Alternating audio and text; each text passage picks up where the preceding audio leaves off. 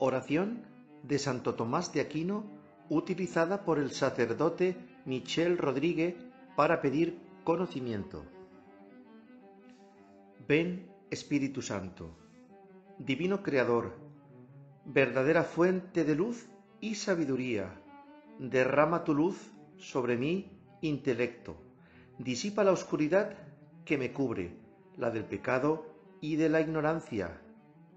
Concédeme una mente lúcida para comprender, memoria retentiva, método y facilidad para aprender, y abundante gracia para expresarme.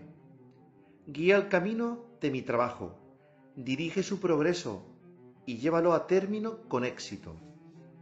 Esto te lo pido a través y por medio de Jesucristo, Dios y verdadero hombre, quien vive y reina contigo y con el Padre, por los siglos de los siglos. Amén.